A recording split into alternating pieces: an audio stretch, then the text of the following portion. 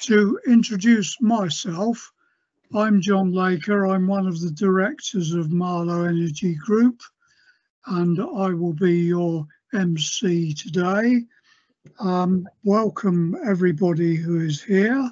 Uh, please can I therefore introduce uh, Kevin Slack. Um, as you can see on the slide in front of you, um, he's a director of Greenspace Architects, but he's going to tell you more about that in a minute. Uh, over to you, Kevin. Yeah, so um, could we put the slides up, please, um, Michaela? Good evening, everybody.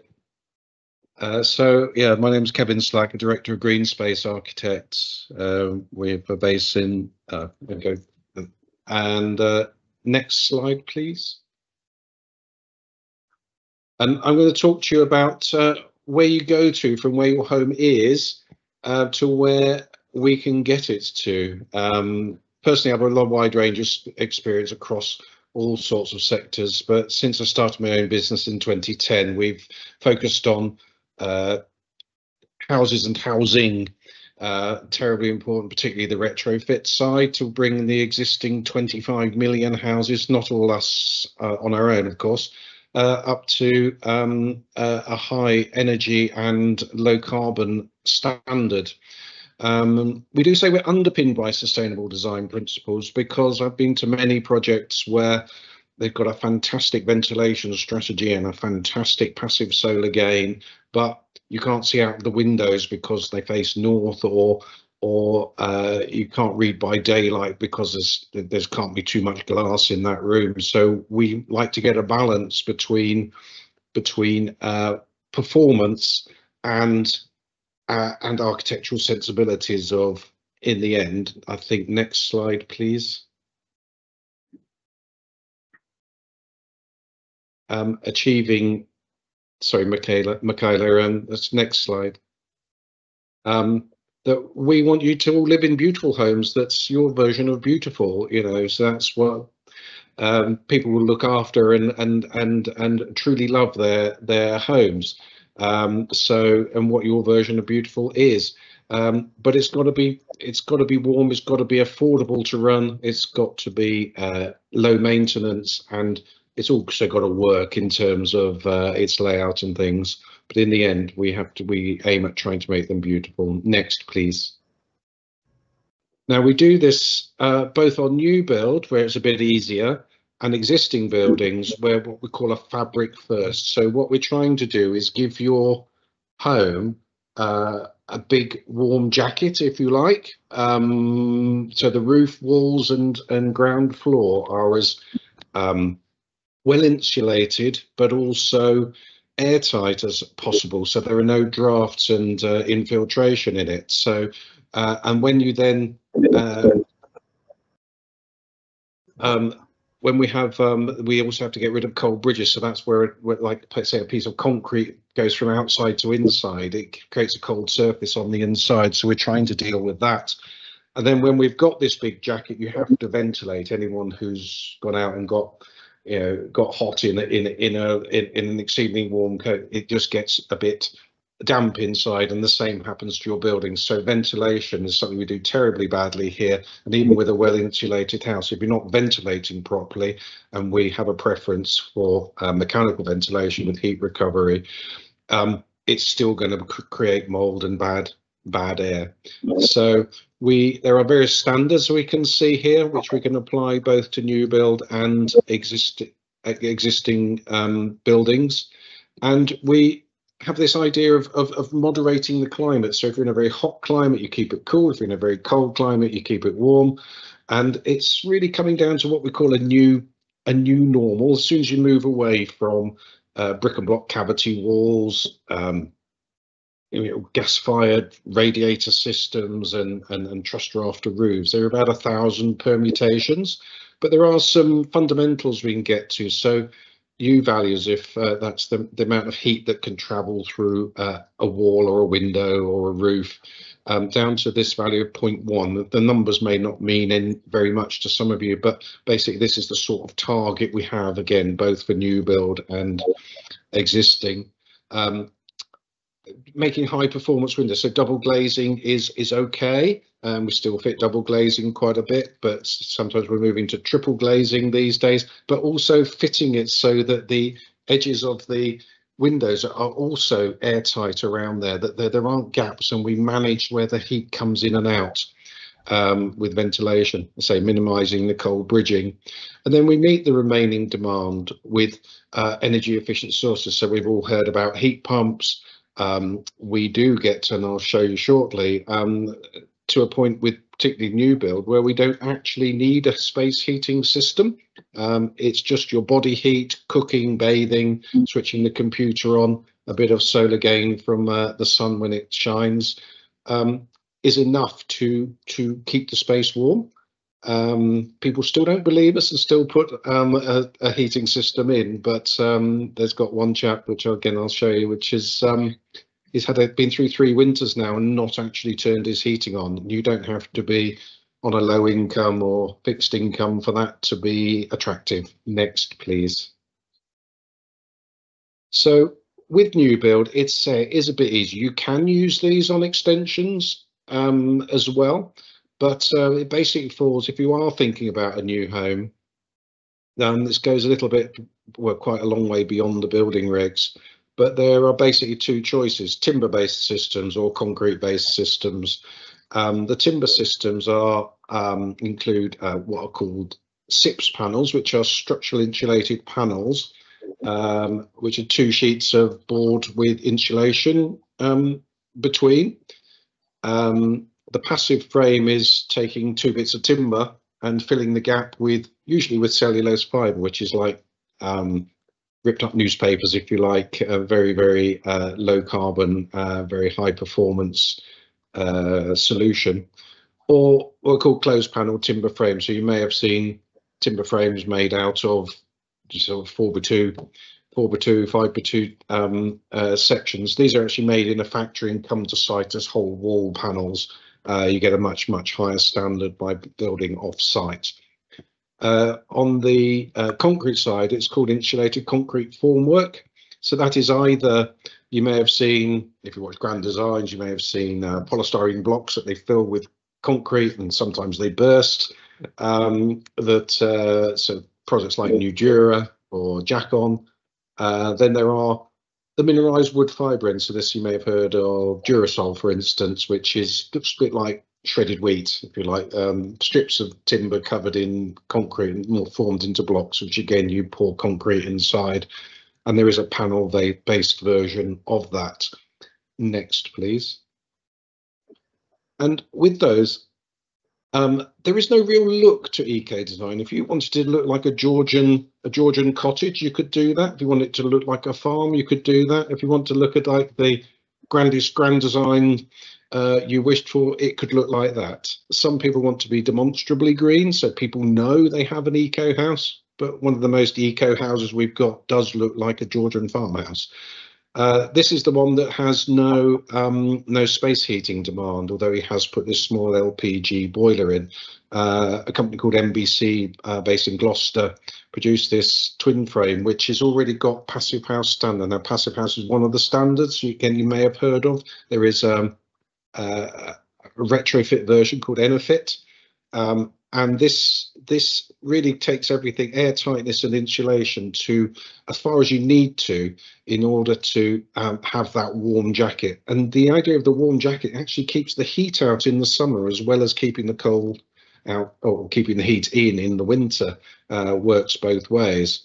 And this one even in the top center with the pink there it actually has a polystyrene uh, ground floor slab as well which means there's no uh, the pink part is, or purple is uh, higher density polystyrene, which means there's no no cold bridge to the ground even, and then the minimum amount of concrete, the the hatched area in the centre, um, is um, a, a, a, small amount of concrete as you get. Concrete, unfortunately, is still the only thing that really does what it does. You might hear of hempcrete and other concrete substitutes, but they're still a little way off being mainstream yet while they are trying to decarbonize it. So with new build, relatively easy. Next, please, Michaela. this is uh, an ICF house, again, completely different shape, completely different look. Uh, this is made up of uh, mineralized wood fiber panels, um, but it's got a huge um, integrated uh, solar array, uh, big battery, and an air source heat pump. Um, and uh, it could look like what? So part of it looks it's got timber frame in it, got got um, uh, brickwork and and slated roofs. The rest is got a sort of a, a, a, standing seam metal, which is reflective of the. There's a barn across the river, the other side that uh, that that that it was it's kind of inspired by, and the materials kind of update that. But as you can see, the EPC, as built EPC, when it was completed uh, uh, a few months ago, has actually gone beyond. I mean, EPCs go from 0 to 100. Anything above that means you're a net exporter of energy. So not only are they uh, are they energy efficient, they're actually um, positive con contributions back to uh, back to the grid, meaning it creates more energy. So again, new build, relatively easy if you're not doing it. It's not rocket science. This is the thing. So next, please. Uh, this is just section through the level of detail you have to, and you've got to have uh, effectively an airtightness champion because air, airtightness is, is about as important as as insulation that you stop the draft, you stop the leakage in and out. And um, we actually you can't quite see it on here, but there's a line that runs all the way around the outside, around to the windows and everything. And somebody on site has to make sure that is maintained. So you've got this breathable usually. It's not it's not like living in a plastic bag that that that that, that moisture can pass through it uh, so so the walls breathe but you then have to meet that with a mechanical ventilation system which recovers the heat before it leaves the building. Next please.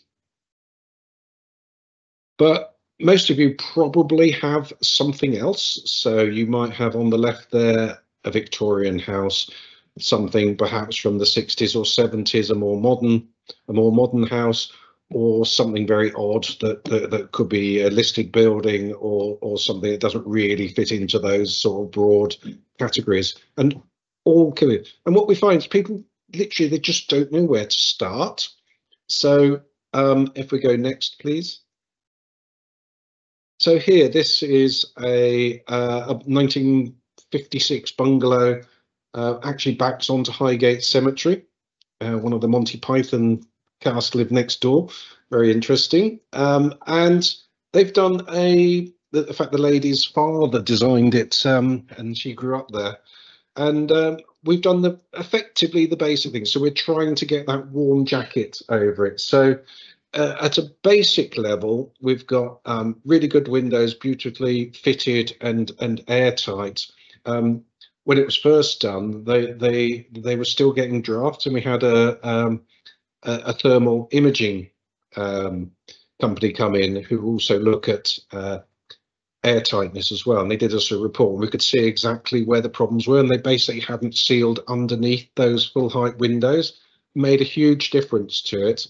But then we've just put ordinary cavity wall insulation in, and on the right there, that's um, um, 300, uh, 350 mil, which is uh, what 14, 14 inches of uh, insulation in three layers that goes across between the joists and across. You're always trying to cover up the air paths. And there they actually just put a little walkway and not they intend to put stuff up there, but just put this walkway on something called loft legs which just gives them access through the pit, mainly so they can inspect the uh, or keep an eye on the on the inside of the building uh, from there. And that and because it became airtight, we actually installed a, a, mechanical ventilation system, and this is typically a plan you get from them. The the um, the blue is air coming in that comes through, which actually takes the heat from the outgoing air. Don't actually mix. They have two uh, a plate heat exchanger where half half are, are for the incoming and half for the outgoing air. And then the red is where we're extracting from the kitchen, um, WC and shower room, uh, bathroom um, to take the, the air out again. And and that um, that, that then makes sure you've got a good quality of air. It also works very well if you're on a main road or something and you can't ventilate to the front.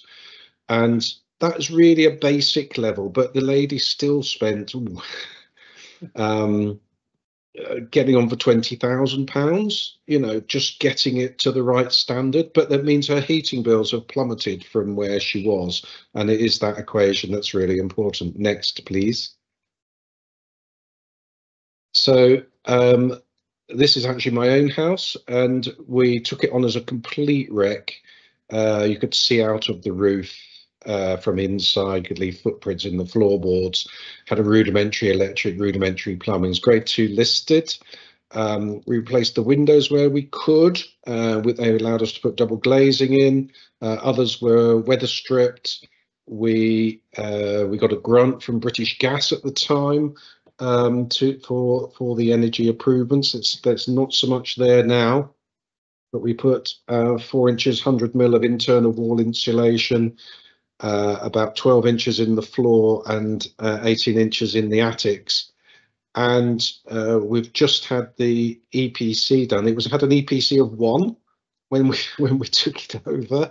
Uh, it's actually got a low B at the moment, which is quite something for a uh, a listed building. And we've got uh, we sized everything for a heat pump, but at the time it was cheaper to put a gas boiler, or in fact two gas boilers in and uh, with underfloor heating and a few radiators. But the mechanical ventilation, again, has made a huge difference. And we really, once you get to a certain level of air tightness, you have to do this. So even if you have got so, and that's a picture of our kitchen, which was just stripped back to brickwork. So we were allowed to put a modern kitchen back into uh, into that space. Other rooms have still got cornices and things.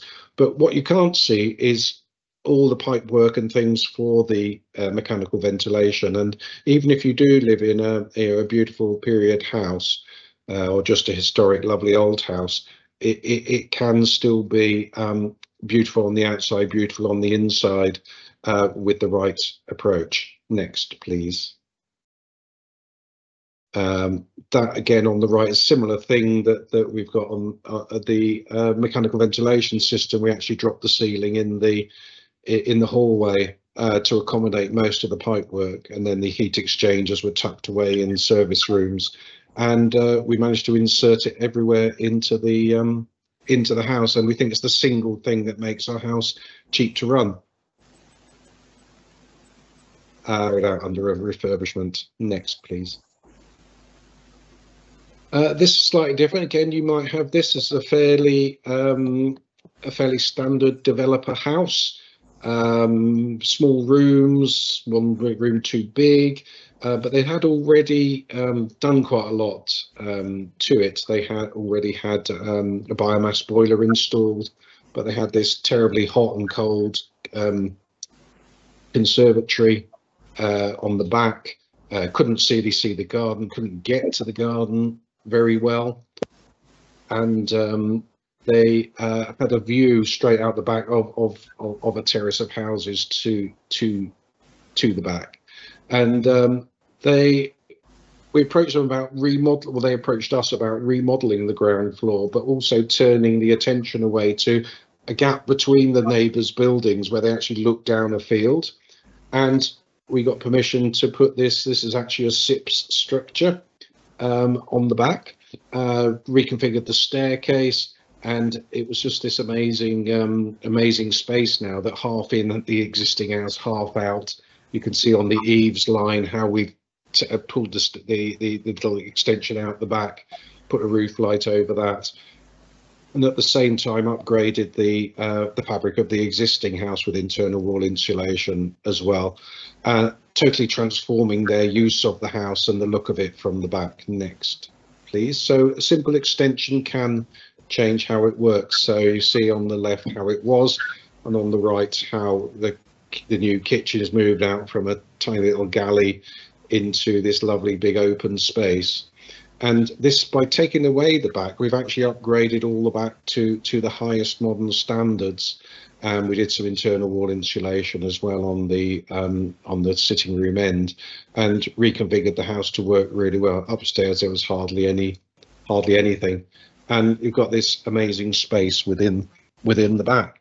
And so that can just by putting a super efficient thing on the back can actually change all, all the nature of the of, the end of the house uh, as well. Next please. Uh, this is again another 1970s, like probably late 60s house, um, fairly bland, very poor performance, very poor air tightness, poorly ventilated. And these people had a, an idea that they wanted something um, very modern. So we do a survey of it and using photographs and things have done. So this is total encapsulation now of an existing house with a little bit of extension here and there, particularly on the back. So again, you can transform your house whilst upgrading the performance. So here we had external wall insulation, which we then clad uh, with timber and render and a bit of metal um, to to to make it look like a modern and perform like a modern a modern house. Still with a, a gas boiler, they replaced the existing floors uh, with insulated floors and the um, ever-present mechanical ventilation. And this is to there. So again, almost anything you've got can become almost anything you want. And obviously, we're way beyond the uh, the twenty thousand of the original of, of the first house I showed you for retrofit. Next, please.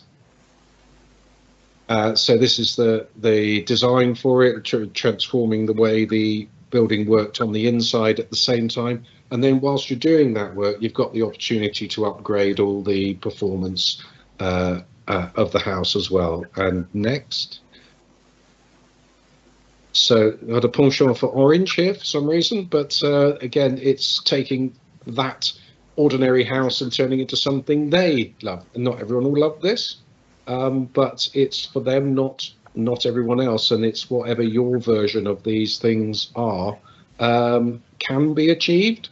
Uh, we like to think today on the first day, you, you know, whatever your budget is, you can have anything you want, and then you have to go and try and hold on to that through the whole process, which can be quite long and complex. Um, but in this case, they're absolutely uh, delighted with this uh, this result on what was basically just an ordinary ordinary house. And again, I don't know what the EPC was like on this one, but um, that view, that's actually a view over Cannock Chase in Staffordshire, and uh, that's the view from their bedroom. And next, nearly there now.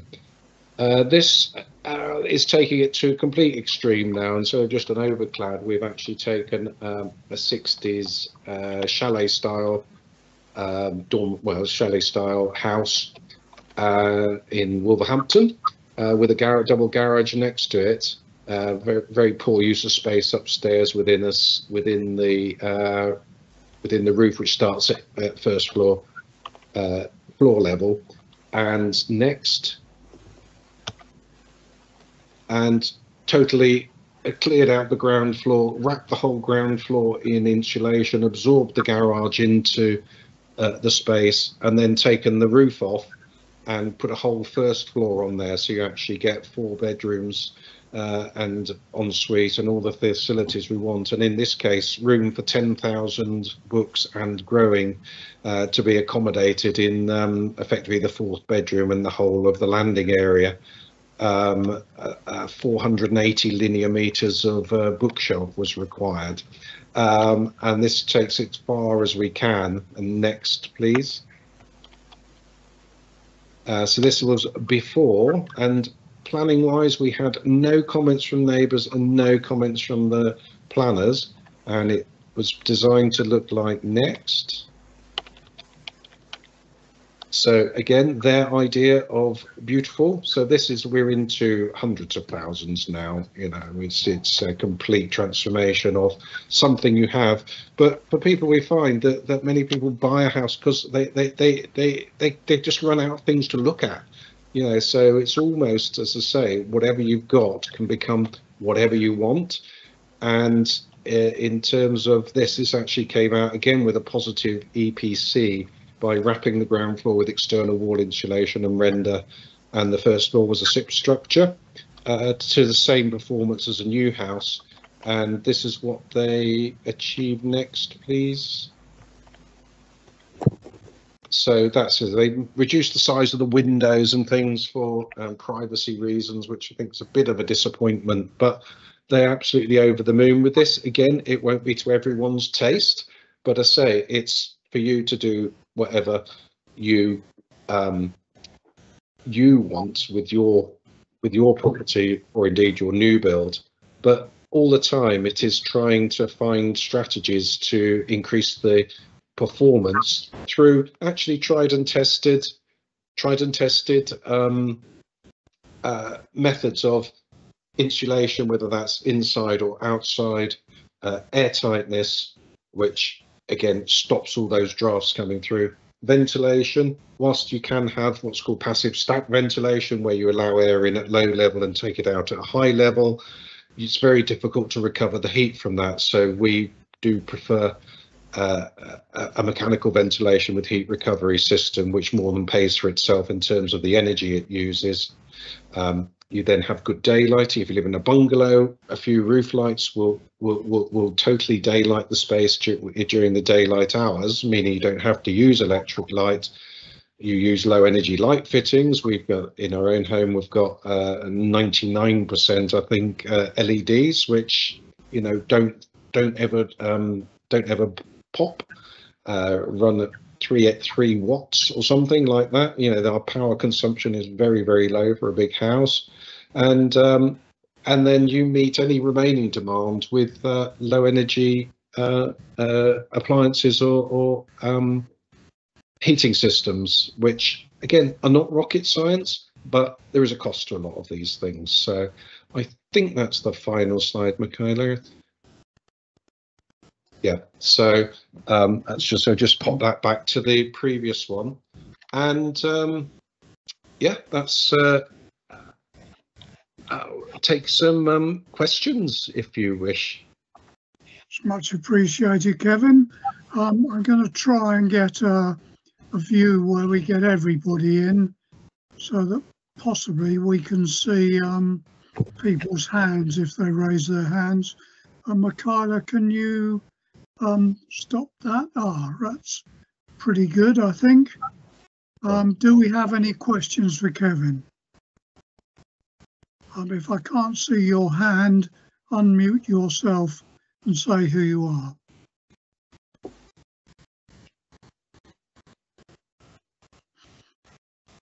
Um, Sue has got a question. Ah, Sue. Hi. Hi. Hi, Kevin. Um, have you done any work on retrofitting in a conservation area? I'm in a village, um, Cookham, which is just outside Marlow. Know it well. There are sizable, there are a sizable number of um, historical buildings, um, and it's trying to find people to help the villagers um, realize what's available in terms of glazing, secondary glazing, and retrofitting. Have you had experience of? Yeah, so a, a, good number of things that we do are our own house in a conservation area as well.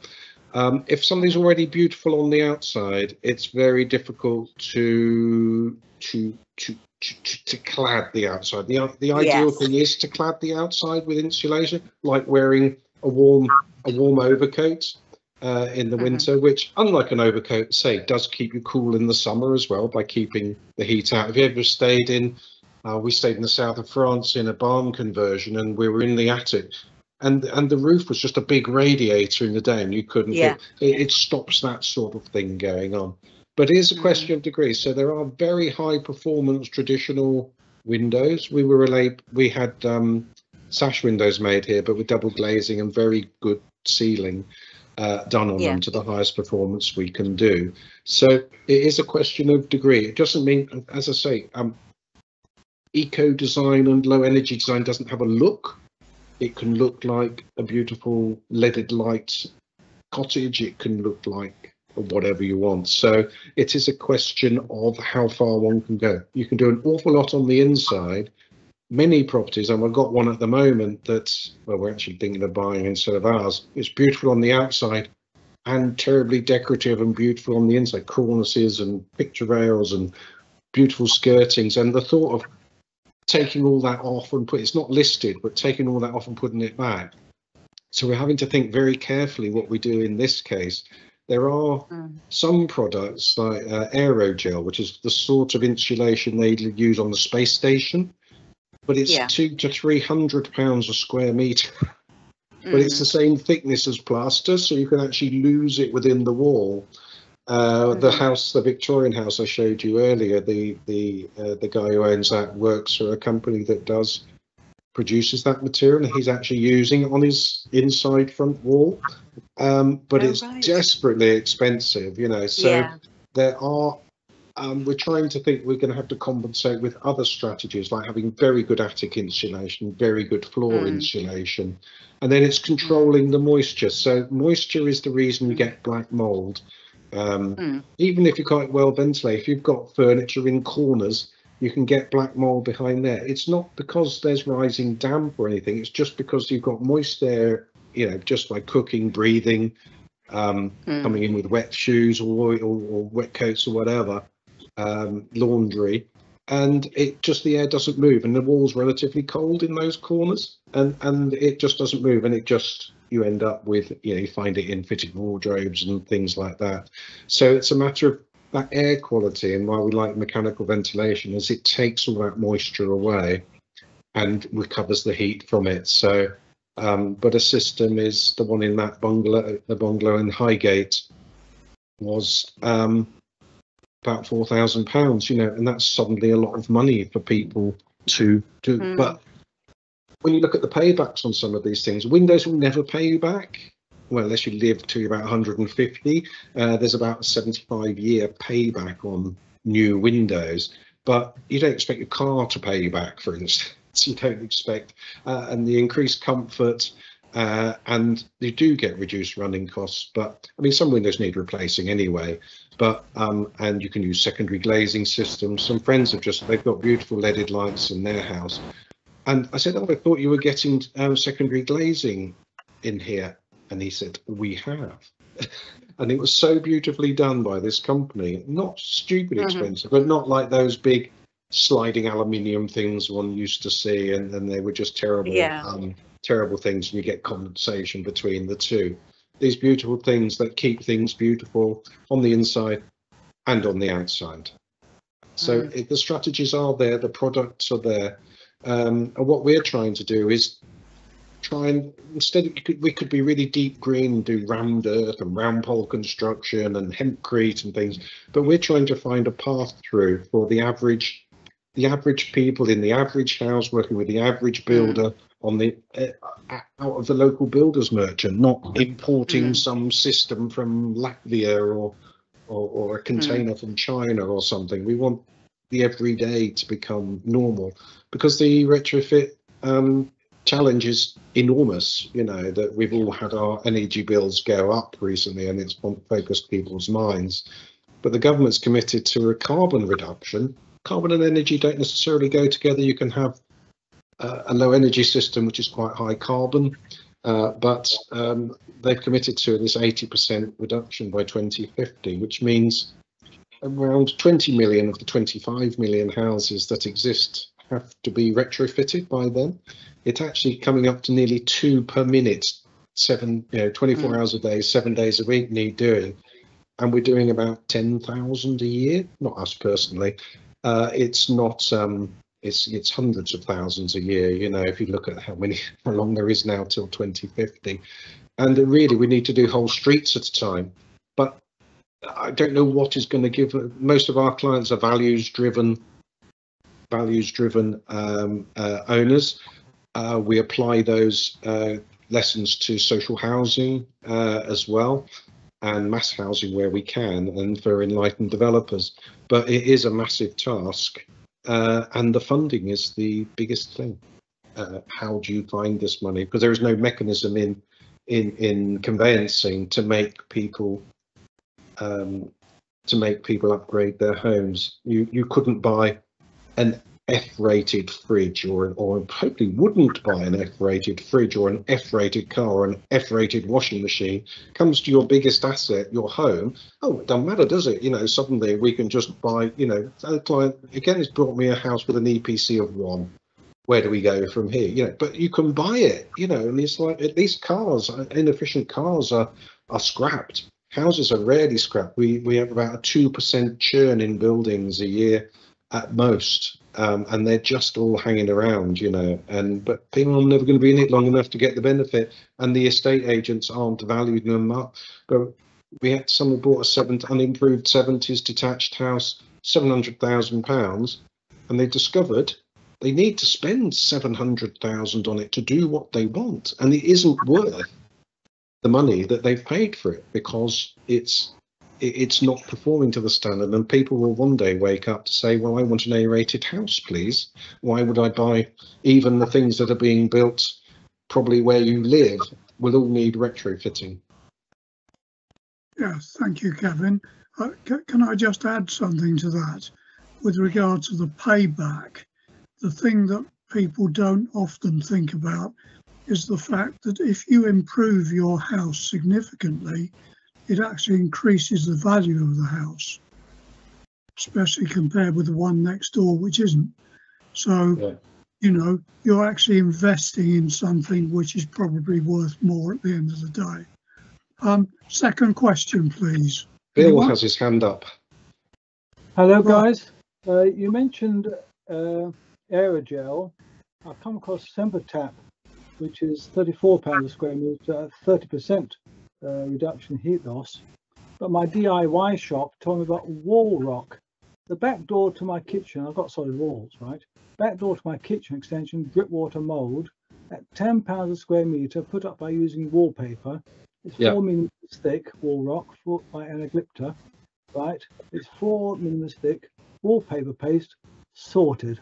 No Really? mold. Abs- wall rock's absolutely amazing. wall rock Wall can you share rock. that on the chat Yeah, I'll, I'll put information on the chat. Yeah. Thank Absolutely. you. Thank you, Bill. Um, right, next question. We've got time for another two or three. Anyone got their hand up? I can't see anyone at the moment. Trevor. Trevor Farnfield. Go on, Trevor, you're on mute at the moment. Hi, Kevin. You can hear me all right? Yes can indeed Yeah. thank you Um, when we met at the um, Smart Energy Show, I think you mentioned something about um, a location. Was it in Swindon or somewhere where you, people could visit? Yes, um, it's the National Self Build and Renovation Centre. It's about the size of a B&Q, just off junction uh, 16 of the M4, just north of there. It's open seven days a week, but they have uh, regular shows and events there. And basically, they are set up to to uh, uh, educate people and link them to suppliers and consultants to understand self-build and renovation uh, to a very high standard. Even if you want to project manage your own project, they can teach you how to do that as well. Uh, it's just um, the uh, all the W's nsbrc.co.uk, and it is a fantastic resource to to to look up on both online and go there. Um, they've got everything from exhibitions of uh, modern methods of construction, show houses, a bit like the Ideal Home Show, um, lots of displays for um, for uh, products, uh, many of them eco, low energy products like insulation, but all sorts of finishes, uh, building systems, uh, uh, rainwater harvesting, almost everything you could wish for. In fact, I have some clients, got one in uh, in Shenley in Hertfordshire, who is getting all of his products and services from people who exhibit there. Uh, we exhibit there, uh, and um, it is a fantastic resource. So nsbrc.co.uk, um, certainly worth looking up, even if you don't go there, but not too far from you either. Yeah, a good reason, to, a good reason to go to Swindon. Indeed. Right, do we have any more questions? Anyone wish to query Kevin? No, I think. No. Oh, Trevor's got another question. Yeah, just a quick one, Kevin. Um, Yeah. Cavity wall insulation got a bad name at one point in time. Yes, so rendered houses, not a problem. Uh, because water can't get through. The cavities existed it's from the 30s to prevent water penetration, not to give you an opportunity for insulation. So, because solid walls were often the rain hits them, the rain soaks through, brickwork's full of cracks. So they were introduced for water to, to keep the moisture out basically, and they were ventilating. You'll see air bricks at the bottom at the top to ventilate the cavity and get any moisture out that gets through. Uh, when you fill that up, obviously you're now creating a gap between the two. Um, we um, we only really advocate the polystyrene bead, which is set in a matrix, which doesn't leave any paths through it for moisture to get for moisture to get through. So effectively, it's if I said it was in PVA glue, it's not quite right, but they are little polystyrene beads, which are generally made from recycled engine oil. So they're actually quite, um, and, and about 2% oil and 98% steam. Um, and um, they're the ones that work. But I think things like the, the fiber ones we don't like using, and certainly not cellulose, not in brickwork, because it can become damp and just cause you more than slump to the bottom. And that did get a poor a poor uh, uh, reputation, rightly so. And the polystyrene ones are they're, they're blown in, are they? They are pumped in, so they have to Oh. actually create a grid of holes. So they usually go through the um, through the uh, cement joints uh, between them, but at, at quite close centres. And they have a system that shows how it's actually flowing on the inside. Uh, we had a rendered house before, and we had it done, and you do have to have the whole house painted again afterwards. In our case, because um, because it's full of holes, you know, looks like it's been uh, been shot at, shall we say? But uh, it, it, it certainly works now, and that's what we've used up in Highgate. Okay, Kevin, thank you. Did Sue have your hand up? Um, yes, Kevin, I'd be very interested to know if you were able to find out from your friend uh, which company did the secondary glazing.